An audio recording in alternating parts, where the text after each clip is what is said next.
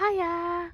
This will be my last day picking apples because it's going to be winter now. Now this is what I have harvested today. So that's Bramley apple there and there's red apples. So I'm going to do apple crumble for that. And these are actually eating apples, so yeah, but I'm going to mix that as well.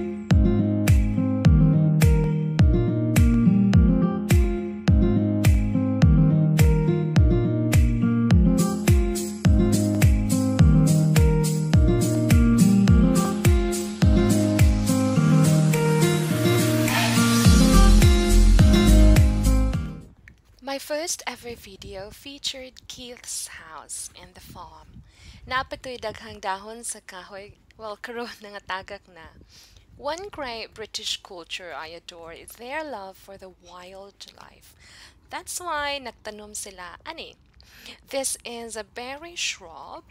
Well, during winter, it's difficult for the birds to find food, so people plant berries for them to eat during the cold season. This one is a berry tree and he's got I think four yeah four berry trees for the birds to enjoy.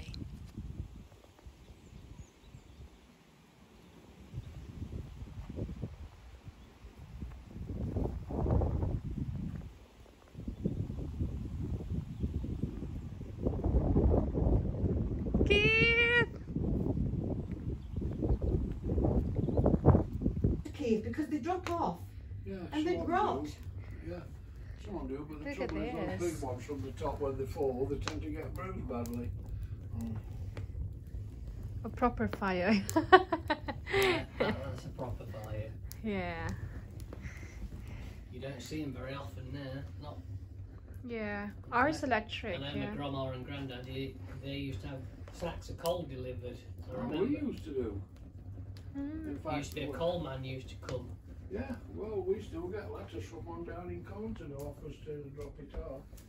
But uh, when we first came, we had a solid fuel boiler in the kitchen.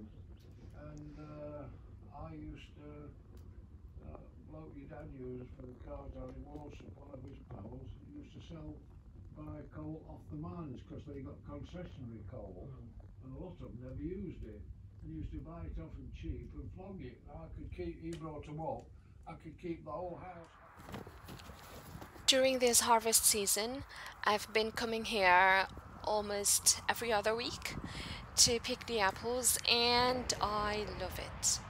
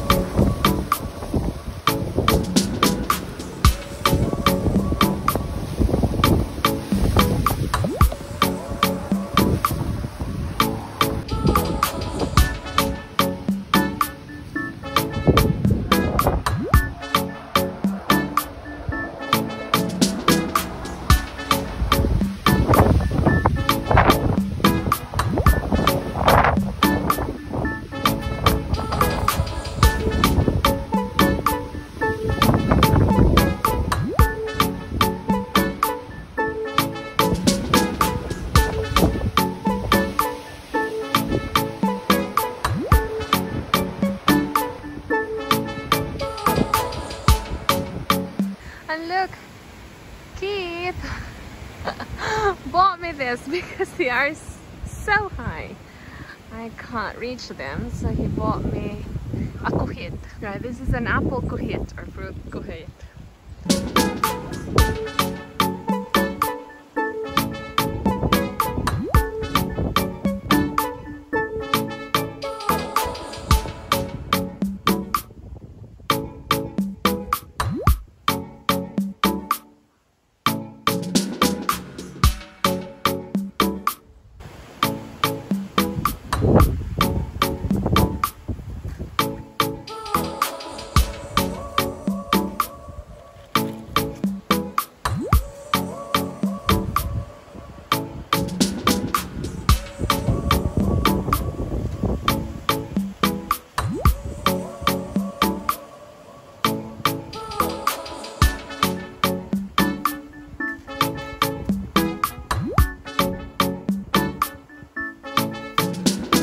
It is is really, really good.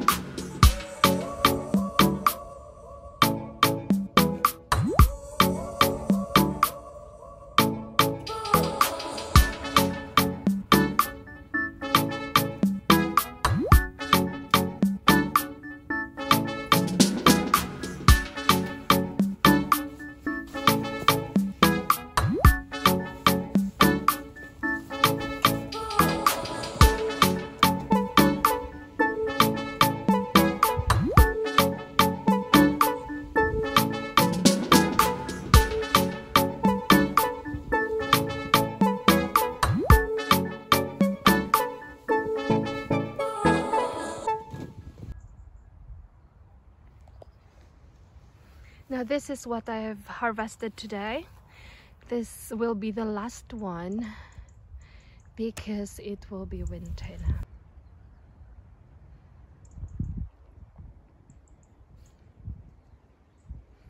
Thank you, apple tree. It's really, really good that we plant so that we have something in return as well. So, um, yeah, I'm going to make apple crumble for this.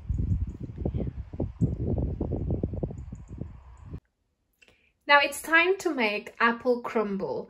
Before that, I am going to peel these apples. I have combined um, the uh, Bramley apples, which are the cooking apples, the green one and the red ones as well. I just like to do that because I, I really want to use as well what I have and like that. So I'm going to peel that one and then um, bake it. Yeah time to make apple crumble. Apple crumble is a great British tradition. Well, almost all households here know how to make apple crumble. So, yeah. Now I have finished uh, peeling the apples. it wasn't that easy. It was really a lot as well. So it took me a while to peel the apples but yeah it will just stay there for a little bit just to extract the juice and then I'll proceed to the next step after.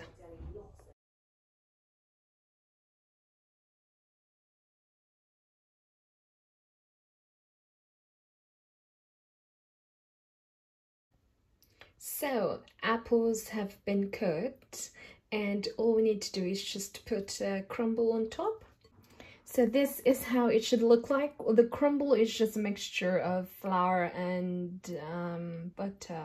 So into the oven for 40 minutes or until the crumble will be brown and then it will be ready. Apple crumble is baked and it's ready to serve. It is actually ideal to serve it with vanilla ice cream, thickened cream, but for me, I think custard is the best.